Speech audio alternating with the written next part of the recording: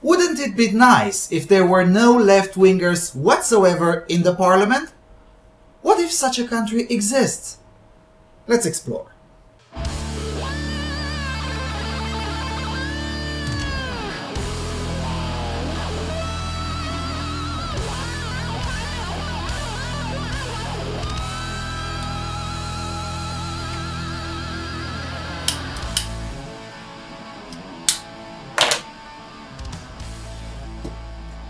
Everyone, and welcome to the Freedom Alternative. Now, as I predicted in this video, the incumbent government in Poland suffered a crushing defeat in last week's elections, where Prawo i Sprawiedliwość came out victorious and providing a much-needed humiliation to Platforma Obywatelska, or the Civic Platform. Now, before expressing my position and try to make new predictions, Allow me to first clarify some things that the English language press simply has not clarified enough. For starters, Prawo i Sprawiedliwość, or the Law and Justice Party, is not an Eurosceptic political party. It just isn't. If they were, they would believe, like me, that the EU needs to be dismantled as soon as possible to avoid a civil war and replaced with a free trade agreement like the EFTA. They don't believe that at all. What they do believe is something more in line with the group of conservatives and reformists in the European Parliament, namely that the EU should exist, but it should be reformed to avoid its collapse. Secondly, law and justice are not exactly that right-wing as The Guardian is trying to make them. In fact, on economics, they are slightly more left-wing than the Civic Platform, as they favor more protectionist kind of economics. Now, admittedly, they drifted a bit to the left on economics because the Civic Platform really messed it up with the retirement funds business. The Polish folks who watch my channel will know exactly what I'm talking about. Thirdly, it just isn't correct to say that no left-wingers got into the Sejm, that is the Polish parliament. Sure, it's funny and brings a lot of schadenfreude to remark that the United Left, the coalition of Greens, Commies, Social Democrats and other degenerates, failed to get the 8% needed for coalitions to get into the parliament. You know, lots of Polish leftists have cried and still do cry, so much so that during the night, if you listen carefully, the whining from Warsaw can be heard all the way till here in Cluj-Napoca.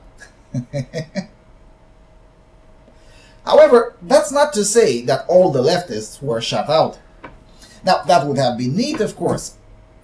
Something that the English language media never mentions is that the losing party, the Civic Platform, still got into the parliament, and it is quite a left-wing party in spite of their short-lived sound economic policy. What many people in the former Western Bloc simply don't get is that Poland is a right-wing country as a whole, especially on social and cultural issues. Now, even the leftists tend to sound right-wing in Poland because they have to, otherwise no one would vote for them. This aspect may indeed contribute to the English language media being confused and regard them all as rightists. Now, the Civic Platform was able to get away from that for a while with the public because they made sense for a short while on economics. But all of that collapsed since they made two big mistakes. One was the mishandling of the transition towards a private pension system, as I mentioned, and second, the biggest one, upholding invaders, quotas. The second mistake was actually what drove a lot of this election. You see, Poles simply don't want kebab invaders in their country. They like their country to be European and not Arabic, or African, and they tend to vote accordingly. Now, I know that this may sound uh, shocking uh, for the more progressive-minded of you out there, but there are countries in Europe, and Poland is one of them, which are still inhabited by people who actually like their own country and would like to keep their country likable in the future as well. Now, that doesn't mean they oppose any form of immigration, but they do favor legal immigration from within Europe at the expense of illegal immigration from outside of Europe.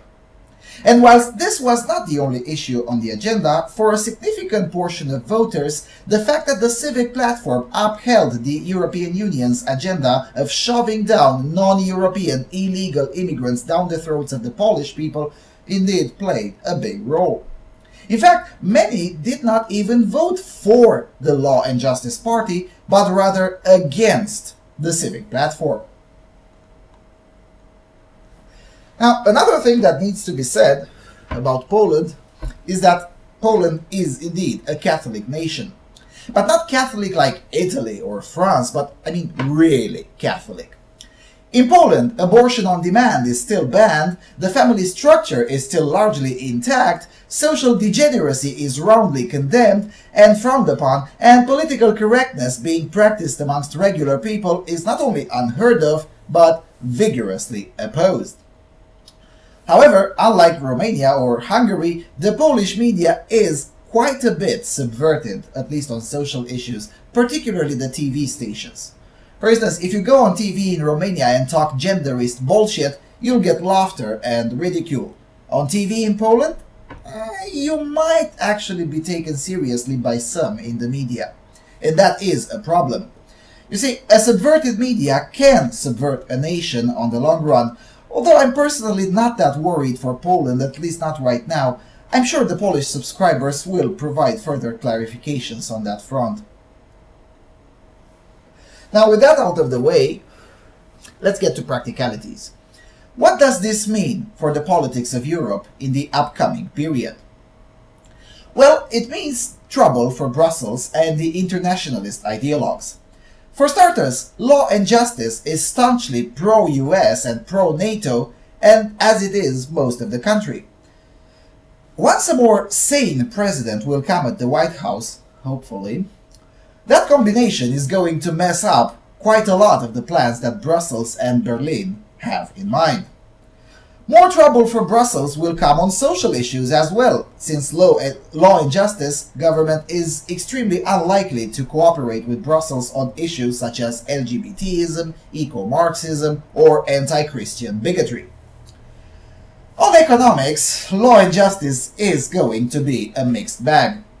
On one hand, they have their highly sound economic stance of refusing to join the Eurozone, on the other hand, they want to spend more on welfare and finance that spending with some new taxes on banks. Now that, I don't think it's a good idea at all. For starters, the banking sector is not strong enough to actually provide enough revenue for that, which means they would either increase other taxes too, or they will cut from somewhere else.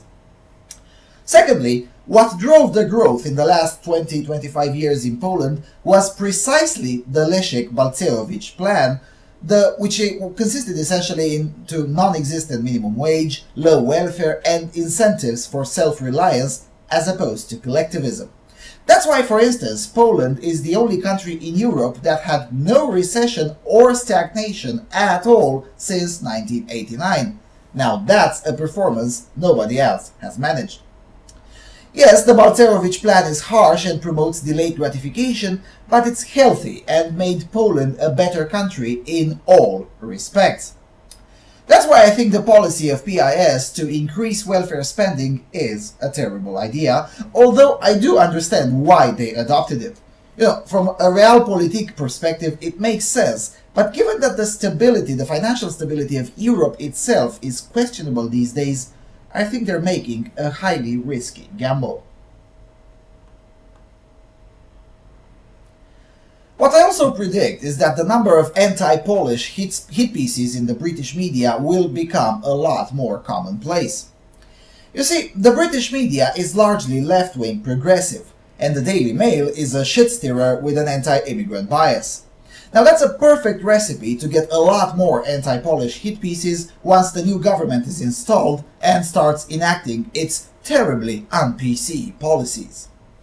Now, we'll have to wait and see how the Law and Justice Party will hold on to that media pressure. In Hungary, for instance, it did not matter. Orban marched on and did what he thought is correct in spite of being called all sorts of names by all sorts of lowlifes who call themselves leaders in Europe.